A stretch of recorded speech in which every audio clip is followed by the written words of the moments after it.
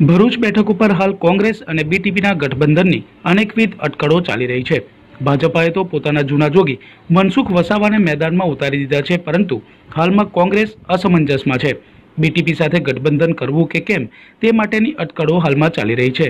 એક તરફ કોંગ્રેસમાં આંતરિક વિવાદ જોવા મળી રહ્યો છે અને બીટીપી સાથે ગઠબંધન થાય, તો બીટીપીના ઉમેદવારને કોંગ્રેસના બેનર ઉપર લડાવવાની માંગ કોંગી કાર્યકરો કરી રહ્યા છે.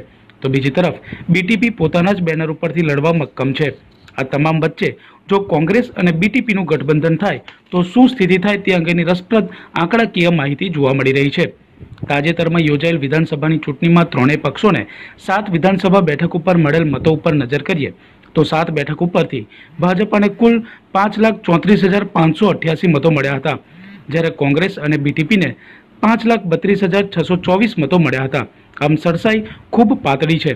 તો ગત લોકસભા ભાજપાને પાંચ લાખ અડતાલીસ હજાર નવસો બે મત મળ્યા હતા. તેની સામે કોંગ્રેસના ઉમેદવારને ત્રણ લાખ પંચાણું હજાર છસો ઓગણત્રીસ અને બીટીપીના ઉમેદવારને ઓગણપચાસ હજાર બસો નેવ્યાસી મતો મળ્યા હતા.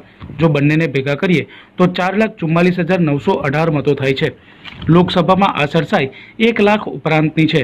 પરંતુ જો હાલના વિધાનસભામાં મળેલ મતોના સમીકરણ જોઈએ, તો કોંગ્રેસ અને બીટીપીનું ગઠબંધન થાય, તો ભાજપાએ મહેનત વધારવી પડે. અને જો ગઠબંધન ન થાય, તો તેનો સીધો ફાયદો ભાજપાને થશે તેમાં કોઈ બેમત નથી. હાલ તો કોંગ્રેસના આલા કમાન્ડે જિલ્લાના આગેવાનો સાથે ચર્ચા શરૂ કરી છે અને બીજી તરફ બીટીપી સાથે ગઠબંધનની ચર્ચા ચાલી રહી છે, જે ચિત્ર આગામી ટૂંક સમયમાં સ્પષ્ટ થશે.